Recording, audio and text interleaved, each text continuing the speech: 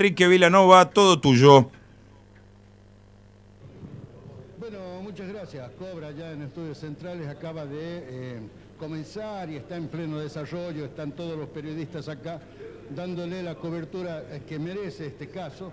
Nos referimos al horrendo homicidio de Romina Marilyn que, bueno, como todos saben, ha sido su cuerpo encontrado en cercanía del Golf Club. Está el secretario de Seguridad, el jefe de policía y muchísimas autoridades que brindan la conferencia de prensa. Nosotros vamos a dialogar justamente con el secretario de Seguridad, eh, Luis César Angulo, que está acá y con quien vamos a tener alguna conversación. ¿Cómo le va Angulo para Canal 13? Buenas noches. ¿Qué tal Enrique? ¿Cómo está? Bueno, en principio queríamos tener alguna confirmación de parte de ustedes respecto de los hechos que se han venido suscitando.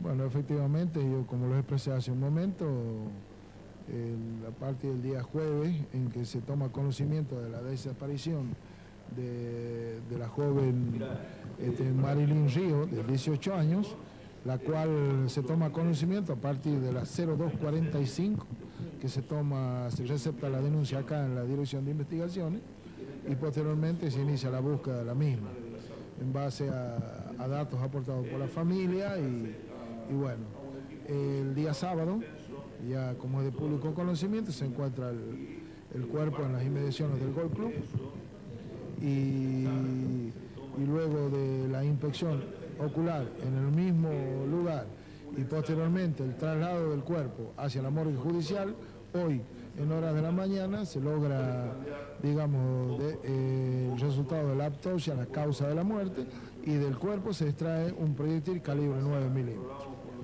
Sobre, con esos elementos en la mano, eh, intensifican la investigación y llegan a la conclusión con una detención. Efectivamente, si bien se estaba investigando, se tenía en la causa estaban acreditados los movimientos que tenía la joven, los movimientos que tenía la joven, eh, cuando se, mm, se extrae el proyectil, que generalmente son las armas que utiliza la fuerza de seguridad, pero que hoy en día puede tener un particular ese calibre, 9 milímetros, eh, y en base a datos aportados por allegados, inmediatamente se cambia la orientación y se logra, digamos, la detención de una persona de sexo masculino de apellido Pedro Miguel Ángel Ortiz, 18 años, él es funcionario policial, agente de policía designado hace unos días, 18 años también, joven, y que este, como consecuencia de ello, este, de acuerdo a los indicios y otros elementos de, prueba que existen en la causa y que son eh, llevados adelante por parte y recopilados por parte del juez Barría, se logra la detención del mismo y como asimismo se, se produce la incautación del celular de la joven que ha sido encontrado hace, un, hace unos minutos, hace un momento, y como así también se están haciendo otras diligencias en el lugar donde habría ocurrido el hecho, que sería el domicilio de, un domicilio particular. Eh, eh, Angulo, corríjame porque no soy perito en esto. Eh, suponiendo que así fuera la figura delictual y que el juez así promueva la acción y eh, caratule el expediente, ¿sería la figura homicidio calificado por la calidad del autor? No, eso habría que eh, entraría en un homicidio.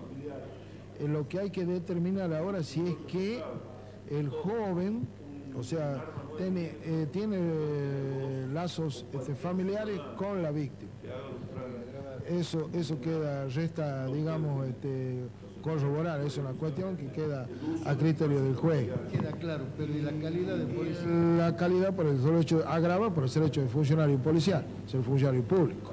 Es tratarse entonces de un homicidio calificado. Por la utilización del arma y todo, y la función que cumplimos nosotros.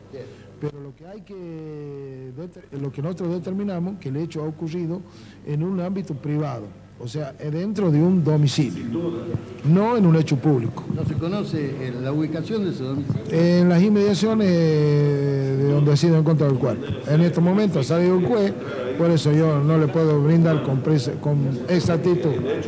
Eso es lo que... ¿Cuáles son los pasos a seguir de acá en más? Bueno, la inspección local del lugar, eh, el análisis de los teléfonos que estamos haciendo, el cruzamiento de las llamadas, con personal técnico y, bueno, y listo, otros testimonios y demás diligencias que puedan esclarecerlo al hecho en su totalidad.